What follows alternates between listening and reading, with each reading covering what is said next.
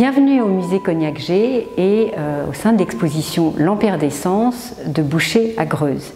Alors, je suis Annick Lemoine, la directrice du musée, la commissaire de l'exposition et je suis très heureuse de vous accueillir aujourd'hui au musée. Vous allez découvrir un grand nombre de chefs-d'œuvre qui viennent du, monde entier, hein, euh, de Russie, de Stockholm, d'Angleterre, les plus grands musées, le musée du Louvre évidemment, et aussi des œuvres inédites vues pour la première fois, provenant également de collections privées. Donc nous sommes très heureux de pouvoir partager avec vous ces chefs-d'œuvre et de vous emmener aussi dans une exposition qui, pour la première fois au musée Cognac G, se déroule sur un parcours plus ambitieux. Donc, huit salles sont dévolues euh, à cette exposition pour la première fois au musée Cognac G.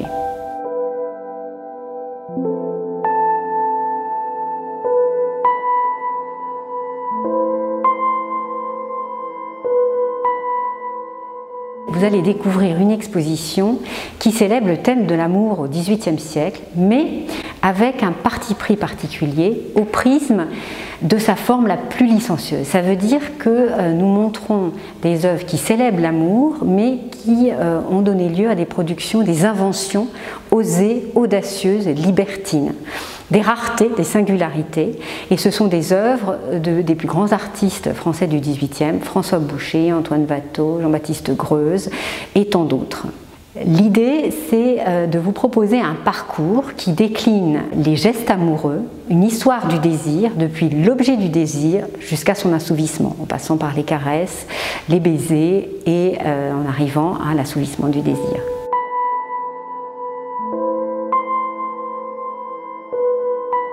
Connaît Boucher comme le grand peintre du roi, hein. c'est le premier peintre de Louis XV, c'est l'un des artistes qui a eu la plus longue carrière officielle du XVIIIe siècle, il travaille pour toutes les cours européennes, il crée euh, tous les modèles pour les grands décors, mais c'est aussi, et c'est ce que nous montrons dans cette exposition, un artiste qui a signé des œuvres secrètes, des œuvres clandestines, éminemment euh, érotiques vu de très peu de personnes à ce moment-là et que vous pourrez découvrir euh, au musée Cognac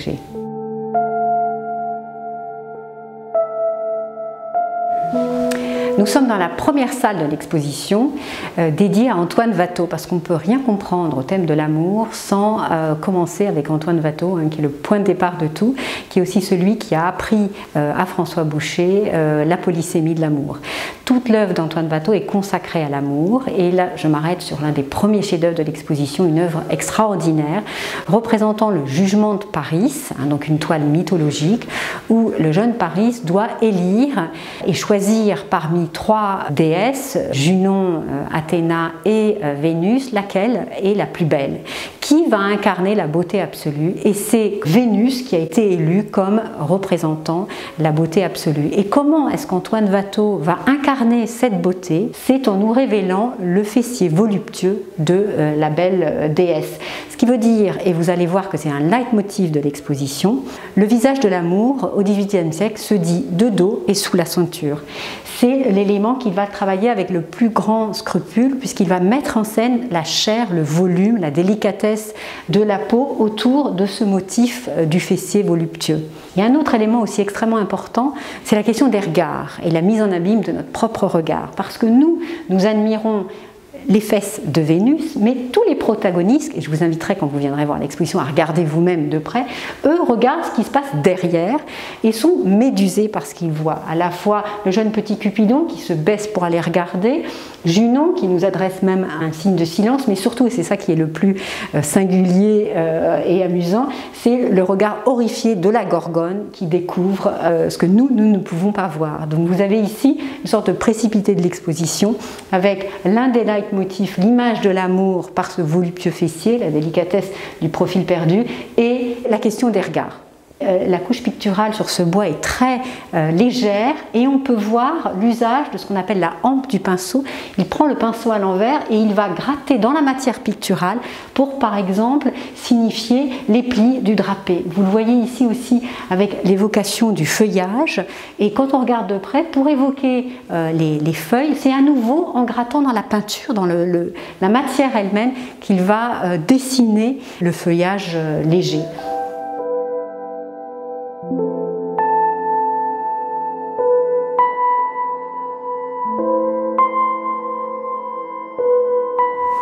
Je vais vous montrer un autre chef-d'œuvre d'Antoine Watteau qui est cette feuille extraordinaire qui nous provient du British Museum et qui était un dessin préparatoire extraordinaire parce qu'en fait il monte Watteau qui innove dans un tout autre champ, celui de l'intimité et du quotidien du XVIIIe siècle. Dans le jugement de Paris, euh, la volupté, elle se dit par le filtre de la mythologie. Hein. C'est le, thème du jugement de Paris qui permet de montrer la déesse nue et de célébrer sa volupté. Ici, c'est peut-être encore plus audacieux, Watteau nous montre la nudité, il la célèbre dans le cadre du quotidien, puisque vous voyez que cette jeune fille est assise sur un sofa, un sofa du XVIIIe siècle, et ce qui est extrêmement osé, c'est qu'elle est en train de se déshabiller sous nos yeux, puisque vous voyez qu'elle est en train de retirer sa chemise. Or, il faut comprendre qu'au XVIIIe siècle, euh, la chemise, ça veut dire le dessous, c'est le dernier rempart de la nudité puisqu'on ne porte pas de dessous, de soutien-gorge ou de culotte, on porte une chemise. Et donc, c'est, si vous voulez comprendre ce à quoi ça faisait référence au XVIIIe siècle, c'est comme si vous imaginez que Watteau est en train de dessiner une jeune fille qui enlève son soutien-gorge tout en nous regardant. Ce qui est aussi extrêmement euh, très beau à regarder et que vous allez aussi retrouver dans l'exposition qu'on a voulu montrer, c'est comment les artistes aiguisent notre regard et euh, chantent cette volupté, et notamment par des choix techniques. Ici, l'une des techniques préférées de Watteau, c'est ce qu'on appelle euh, la technique aux trois crayons, la pierre noire, la craie blanche et la sanguine. Et vous voyez qu'avec la sanguine, il va souligner les points les plus sensibles, la naissance de la cuisse, euh, les seins, les tétons, les doigts de pied, le regard. Donc c'est une façon aussi de guider le regard pour aller voir ces points euh, sensuels. Et ces deux œuvres sont essentielles parce que c'est vraiment le point de départ de ce que vont reprendre tous les artistes au XVIIIe siècle, et en particulier Boucher, à la fois dans le champ de la mythologie et euh, pour le domaine de l'intime.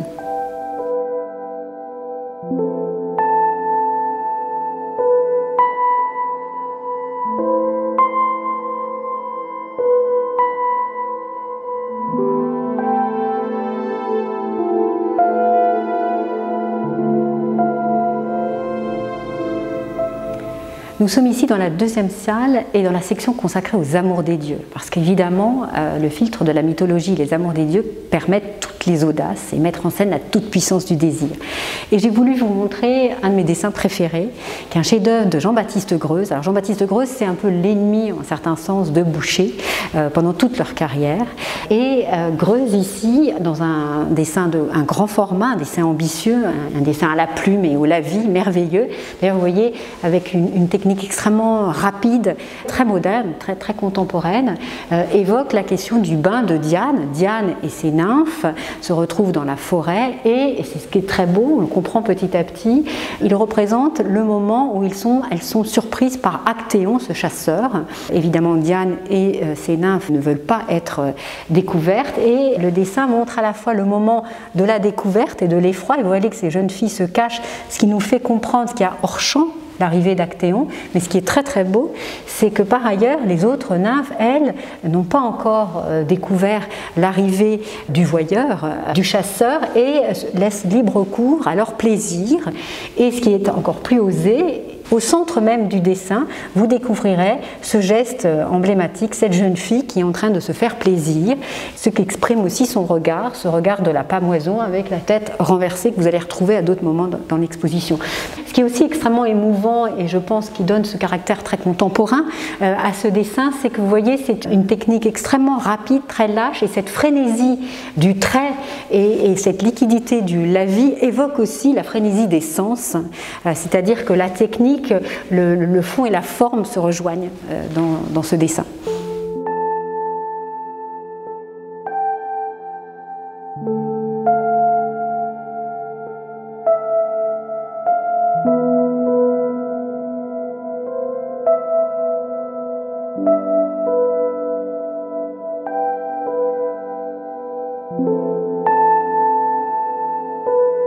Alors on est toujours dans la section euh, consacrée aux amours des dieux et je vous montre un petit chef-d'œuvre euh, de François Boucher qui nous provient de la National Gallery de Londres.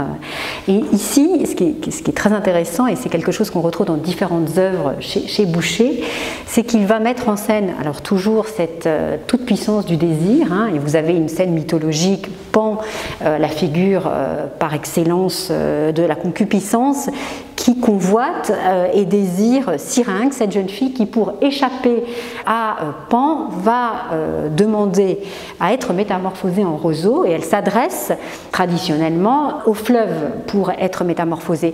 Et c'est là où c'est très intéressant de voir ce que fait Boucher, puisqu'il prend ses distances avec le texte antique et il transforme la figure du fleuve en une jeune femme, ce qui évidemment lui permet, et vous voyez, c'est le sujet même du, tableau, de mettre en scène et de célébrer le nu féminin et les chairs, de montrer tous les atours du nu féminin, et par ailleurs, et ça aussi c'est quelque chose qu'on retrouve euh, dans de nombreuses œuvres de Boucher, il met aussi en scène euh, sans doute l'amour saphique, l'amour entre deux femmes, et vous regardez ces, détails, ces gestes euh, très doux mais suggestifs de la main sur l'épaule, par ailleurs avec son regard effrayé. Et une dernière chose, c'est une œuvre d'une fraîcheur extraordinaire où on voit toutes les qualités de coloriste de Boucher.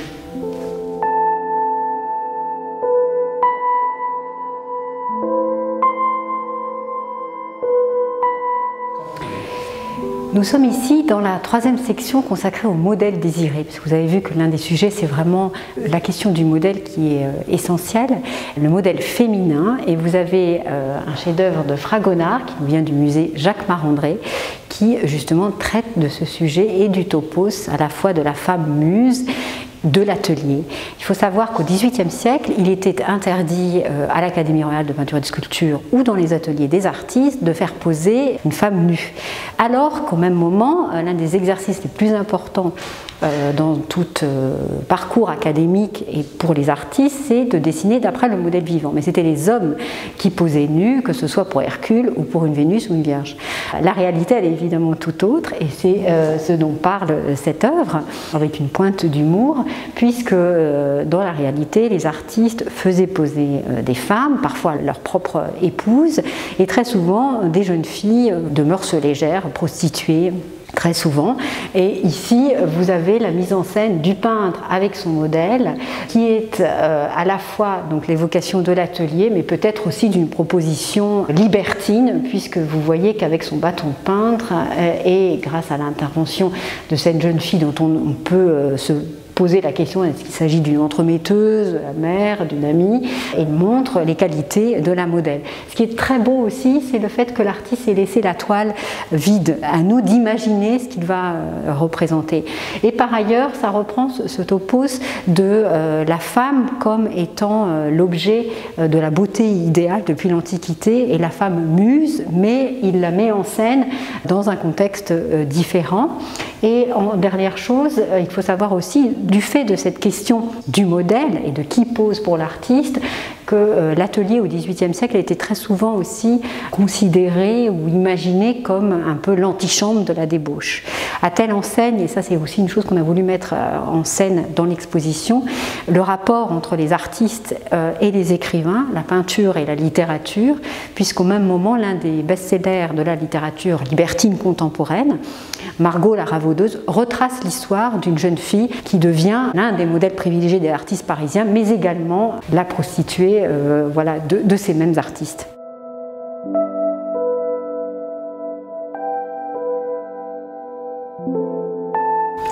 Je vous présente ici l'une des singularités de l'exposition, une œuvre que j'aime beaucoup, le cas de conscience de Saint-Aubin. Alors Saint-Aubin, c'est l'un euh, des élèves de François Boucher, et ici il illustre un conte, non pas la fable, mais un conte grivois de La Fontaine. J'aime beaucoup cette œuvre, et pourquoi est-ce qu'elle est si singulière? C'est parce qu'en fait c'est l'un des rarissimes exemples du paradigme euh, du voyeur inversé. C'est que pour la première fois, ça n'est pas euh, un homme qui regarde une femme, mais vous le voyez, une jeune fille qui euh, admire la beauté euh, d'un jeune euh, pêcheur nu. Et c'est un cas de conscience, puisqu'elle s'appelle Annette. Elle se demande si elle a le droit, si elle peut, si elle va oser regarder la beauté de ce corps dévoilé. Et puis oui, elle, le regarde. Et je vous invite vraiment à lire ce conte de La Fontaine. Il est extrêmement amusant.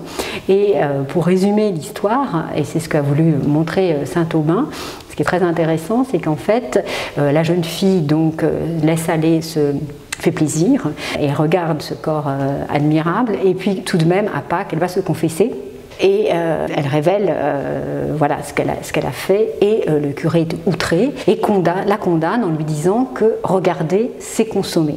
Alors, il y a une métaphore en plus avec le peintre et son modèle, hein, le sujet que met en, scène euh, La Fontaine.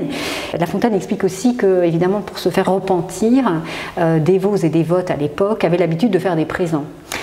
Le jeune euh, pêcheur euh, va finalement rencontrer Annette et lui offrir un, très beau brochet qu'il vient euh, de pêcher. Elle s'empresse de l'offrir au curé qui est ravi puisque le soir même il va organiser un grand banquet pour ses convives et il lui demande une faveur supplémentaire en lui demandant de cuisiner ce, ce brochet.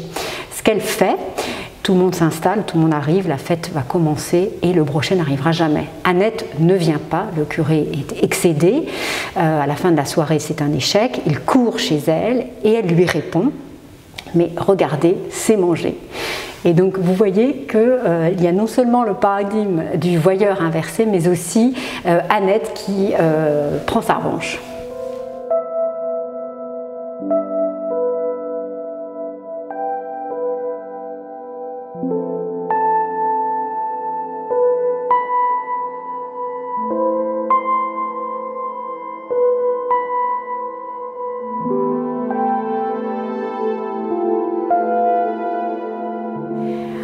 Ici, vous découvrez euh, l'un des chefs-d'œuvre de François Boucher, la célèbre Odalisque brune, et une salle entière est dédiée euh, à, cette œuvre parce que c'est évidemment l'une des œuvres les plus érotiques de la carrière de Boucher, une composition secrète, sans doute euh, découverte que par un petit nombre d'habitués et de proches, sans doute de la riche de la Popelinière, puisque presque toujours ces œuvres étaient sans doute des résultats d'une commande, mais comme elles sont secrètes, on ignore très souvent l'histoire de, ces tableaux. Dans ce cas, euh, on est presque certain qu'il s'agit donc d'une œuvre commandée par euh, ce financier qui est connu pour être euh, le protecteur de Rameau, mais aussi qui défrayait régulièrement la chronique parisienne par ses mœurs libertines. Pourquoi est-ce que c'est un tableau extrêmement osé? Il faut vous remettre aussi dans le contexte du XVIIIe siècle. Et vous voyez qu'ici, on n'utilise pas le filtre de la mythologie des amours des dieux. Il n'y a aucun élément narratif qui puisse justifier que Qu'est-ce que c'est Cette véritable exhibition euh, des fesses, hein. c'est un portrait de fesses, c'est le centre de la composition, le point de mire. Et vous voyez qu'on a aussi ce jeu sur le dévoilement qu'on avait déjà vu. La chemise blanche est remontée, vous l'aviez vu avec euh, Watteau. Et la chemise blanche, c'est vraiment un des fantasmes du XVIIIe siècle, à telle enseigne que, euh, par exemple, certains ouvrages traitent que de ce sujet. Un des best-sellers toujours de la littérature s'appelle La religieuse en chemise. Et dans les milieux averti, quand on évoque des images de nudité un peu grivoise, on parle de nu en chemise. Donc là, vous avez un nu en chemise, mais un nu en chemise retroussé, troussé, une exhibition euh, du fessier avec aussi euh, ce jeu sur euh, les plis, les, drapés. Hein. Elle, s'offre euh, à nous dans un fatras de, plis, de drapés qui donc ajoute aussi dans cette évocation de la volupté non seulement le sens de la vue, mais également celui du toucher. Et cela aussi fait écho à d'autres fantasmes propres au XVIIIe siècle, qui est celui de l'Orient et de l'Orient sulfureux, puisque certains détails, comme celui par exemple de cette coiffure, de la plume, le brûle mais surtout le sofa sur lequel elle est alanguie est un sofa turc, hein, un amas de coussins bas qui euh, donc évoque de loin cet Orient euh, sulfureux, sachant que Boucher au même moment travaille à l'illustration d'un ouvrage extrêmement important sur ces questions-là. Et dernier élément, peut-être que cette œuvre aussi révèle plus étroitement encore les liens entre Boucher et le milieu des libertins et notamment le milieu littéraire, puisque ce tableau fait sans doute écho à un, des best-sellers à nouveau de la littérature euh, contemporaine qui s'appelait Le Sofa, publié quelques années auparavant et qui euh, met en scène, c'est une œuvre de Crébillon, Crébillon fils, euh, met en scène un homme métamorphosé en sofa qui raconte les ébats qui ont lieu sur lui. Et l'une des scènes les plus osées narre la rencontre entre une jeune femme et le sofa et elle s'installe sur le sofa et s'ensuit caresses et autres moment d'amour.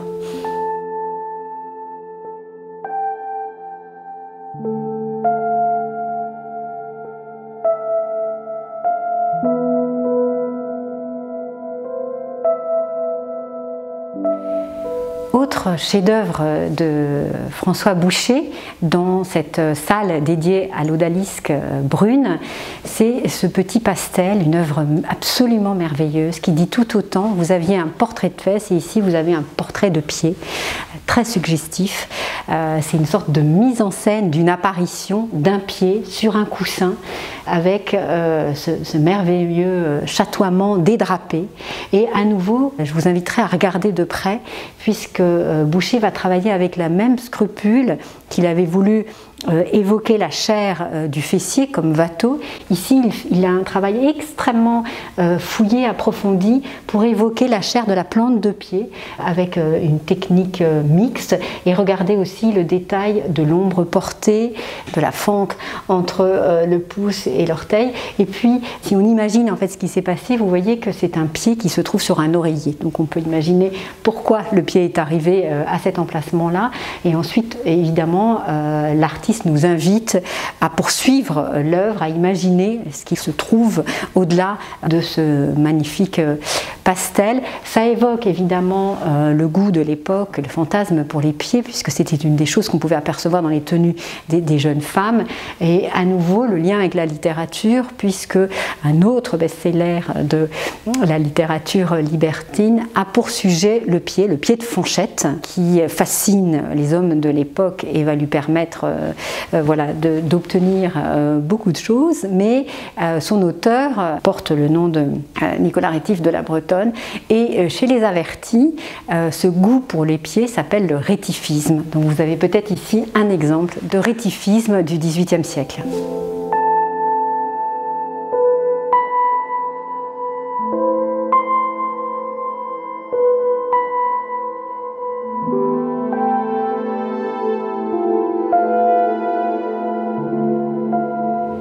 L'exposition, c'est aussi l'occasion de découvrir des artistes du XVIIIe siècle moins connus, comme celui-ci, Pierre-Antoine euh, Baudouin, qui est euh, l'un des élèves de François Boucher, et d'ailleurs son gendre, puisqu'il va épouser l'une de ses deux filles.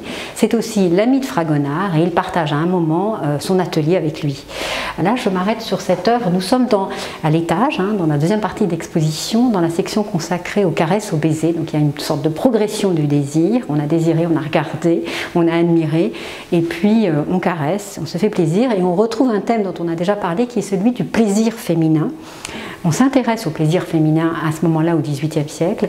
On décrit notamment dans les traités médicaux l'orgasme et l'orgasme féminin, souvent en des termes religieux. Et euh, la façon dont on le décrit, vous le verrez dans différentes œuvres, et dont celle-ci, il faut regarder de près, c'est euh, l'orgasme, la pamoison féminine, le plaisir féminin se traduit par la tête en arrière, les yeux révulsés, la bouche entr'ouverte, cet état d'abandon. On reconnaît cette expression euh, du, plaisir féminin, mais on vous en donne l'explication. Et là, il faut regarder les détails. Alors, pourquoi est-elle dans cet état? Euh, Pour deux raisons. D'une part, parce qu'elle vient de lire, et vous voyez qu'elle a abandonné, et il y a ce très joli geste délicat, le roman qu'elle venait de lire, et ça euh, lui l'a amené à mettre sa main sous sa jupe. On retrouve toujours cette question du plaisir féminin et du propre plaisir personnel. Alors après, il faut aussi avancer davantage, mettre son nez dessus. Et ça, c'est tout le, rôle euh, de l'artiste, le rôle coquin, puisqu'il nous invite à regarder aussi euh, sa poitrine qui est légèrement euh, dévoilée. Et voyez aussi que cette évocation de la jouissance et du plaisir féminin, il est associé à la connaissance et au savoir, puisqu'ici une nature morte met en scène ce qui évoque évidemment une femme cultivée sachant qu'à ce moment-là, les moralistes mettaient en garde contre le roman et la lecture auprès des femmes sensibles et donc euh, peut-être plus euh, vulnérables. donc là, c'est évidemment un clin d'œil de Pierre-Antoine Baudouin sur ce sujet qui s'est fait une réputation en tant qu'illustrateur des euh, ouvrages libertins de l'époque, mais qui suscitait le scandale à chacun des salons, hein, ce moment où à Paris on présentait tout public des œuvres dans un cadre officiel et c'est le seul qui osait présenter ce type de petite gouache extrêmement euh, libertine et donc chacune des œuvres de euh, Baudouin était attendue dans les salons puisqu'elle allait euh, défrayer la chronique et faire scandale.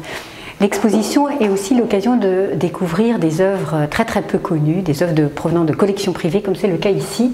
Vous avez un petit bijou de Fragonard, de la collection de Pierre Rosenberg, et on retrouve le même sujet qu'on a vu tout à l'heure, puisque vous reconnaissez cette fois-ci euh, facilement toujours cette expression de l'extase, de la pomoison, de l'abandon, de, l'orgasme féminin, comme une sorte d'apparition hein, dans un clair-obscur presque caravagesque.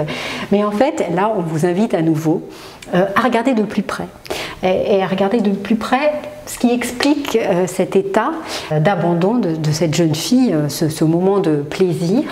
C'est ce sur quoi jouent les artistes. Il y a toujours une question du suspense, d'aller regarder les détails, de comprendre. Et là, approchez-vous. Alors vous reconnaissez deux détails. D'abord, ce drapé blanc, et en fait c'est une évocation de la fameuse chemise, la chemise blanche dont je vous ai parlé, et que maintenant vous pouvez comprendre quelle était l'écho et la réalité euh, derrière cette, évocation extrêmement rapide avec cette touche merveilleuse de Fragonard euh, de ces blancs. Mais euh, ce qui nous intéresse et ce qui explique l'expression de, plaisir de cette jeune fille, c'est cette main qu'on aperçoit, une main brune qui en fait sur son sein en train de caresser la jeune fille. Et vous voyez d'ailleurs une petite apparition là dans l'angle du drapé du manteau de cet homme qui explique l'expression de plaisir de, la jeune fille.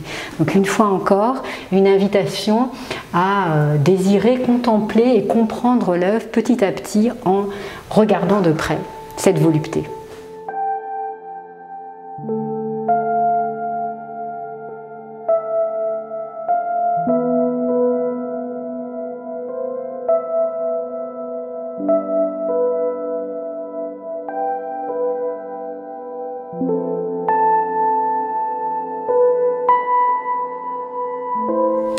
Poursuivons toujours avec Baudouin et avec ses merveilleuses gouaches pour évoquer cette question qui nous semblait vraiment essentielle de, traiter des pratiques amoureuses. On progresse dans le désir et évidemment on arrive à l'acte sexuel qui vous verrez est suggéré mais jamais totalement montré. Et euh, ici ces deux œuvres, euh, l'une provenant d'une collection privée, l'autre du musée des arts décoratifs euh, de Paris, montrent à la fois voilà, un accouplement, un partage consenti de l'amour et du désir dans cet intérieur euh, parisien. Et là, les deux figures prennent autant de plaisir que l'on pourrait euh, imaginer. Mais ici, euh, vous avez au contraire la représentation de la violence et euh, d'une violence subie, avec évidemment la thématique de la domination masculine et sociale, puisque un maître, un maître de maison, profite d'une soubrette qui est en train de refaire le lit, et on comprend qu'il va tenter évidemment d'en profiter, avec au premier plan et dans la pénombre l'épouse, et le titre de l'œuvre est l'épouse indiscrète qui euh, découvre euh, les envies de son euh, mari. Et ça permet d'évoquer cette question de l'hyperdénage et cette quête effrénée du plaisir qui, bien évidemment, va très souvent donner lieu plutôt à ce type de scène qu'à celle-ci.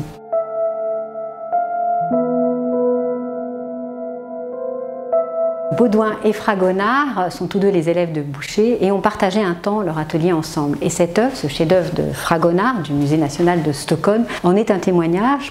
En fait, c'est une sorte, propose une sorte de gros plan d'après l'épouse indiscrète. Son titre est La résistance inutile et vous voyez ici qu'on retrouve cette même scène, mais avec un peu plus d'ambiguïté entre une femme qui se débat, un homme qui euh, la désire, et dans une sorte de tourbillon de plis, de tissus, de coussins, de cuisses, de, de, bras. Ça illustre la résistance inutile qui était aussi euh, un thème que l'on retrouve euh, dans les traités médicaux et même traités par Rousseau, où l'on explique aux jeunes femmes qu'il est bien de feindre une résistance pour éliser le désir de l'homme. Et vous avez ici une évocation. Par ailleurs, ce qui est merveilleux et ce qu'on retrouve un petit peu comme chez Greuze avec Fragonard, c'est que ce, tourbillon donné par euh, les formes, mais également cette palette et cette touche extrêmement rapide, évoque une frénésie euh, de l'inspiration qui est à l'image de la frénésie des sens. Et une fois encore, on retrouve le fond et la forme qui s'épousent et euh, chacun rehausse l'évocation du désir, de la volupté, ici ambiguë entre violence et partage.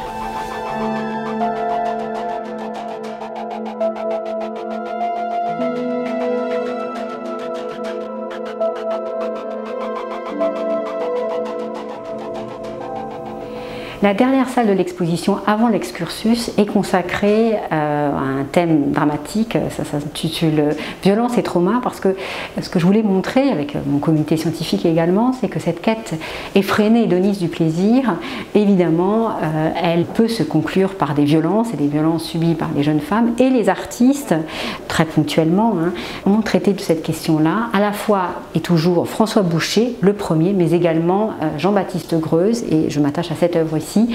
Vous voyez euh, l'évocation de la cruche cassée, en fait c'est une esquisse préparatoire pour le chef-d'œuvre qui est au musée du Louvre, c'est aussi un tableau du Louvre, et vous avez l'évocation ici, alors il faut connaître les codes et les comprendre pour pouvoir saisir quel est le, message de cette œuvre, outre sa poésie merveilleuse. Vous voyez déjà qu'on est dans une palette très différente de tout ce qu'on a vu jusqu'à maintenant, puisqu'on a une palette de froide, de gris. Vous avez le portrait d'une jeune fille, elle a l'air désemparée, très triste, et elle porte à son bras une cruche, et la cruche est cassée. Vous voyez ici euh, l'évocation de la fissure, et la cruche cassée au XVIIIe siècle, ça veut dire perte de virginité. Elle peut être consentie, mais aussi euh, évidemment subie, et c'est le cas ici ici, l'ambiguïté euh, n'existe pas. Vous le voyez à la fois euh, par, euh, donc je l'ai dit, la palette, mais si vous regardez de, près, examinez ce, portrait, sa tenue désordonnée, regardez aussi son vêtement est comme une sorte de champ de bataille et le détail également des mains croisées sur son bas-ventre ou bien ces taches roses qui peuvent évoquer le sang qui vont devenir des roses dans la version définitive et outre son expression merveilleuse et, et désemparé et triste. Ce détail, par exemple, de la chevelure qui vole au vent, qui n'a en soi aucun sens, mais qui évidemment ici pour suggérer la violence, euh, puisqu'ici on se trouve après, sans doute après un viol, devant euh, ce portrait euh, tragique de cette jeune fille.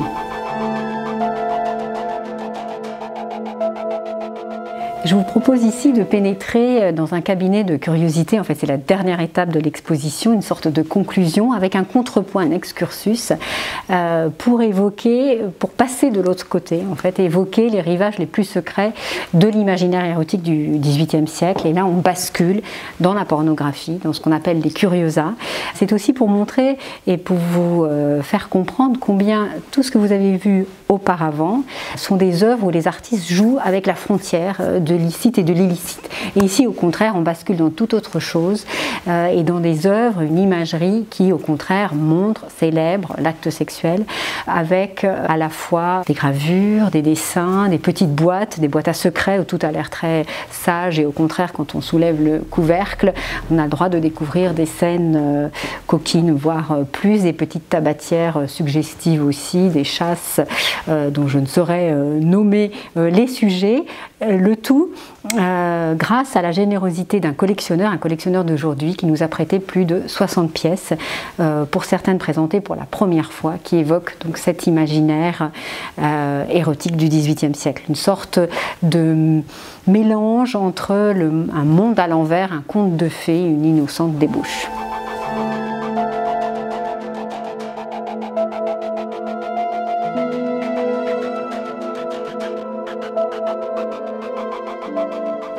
Merci d'avoir suivi cette visite et surtout rendez-vous au musée Cognac G. L'exposition a été prolongée jusqu'au 18 juillet 2021. Nous vous attendons avec impatience.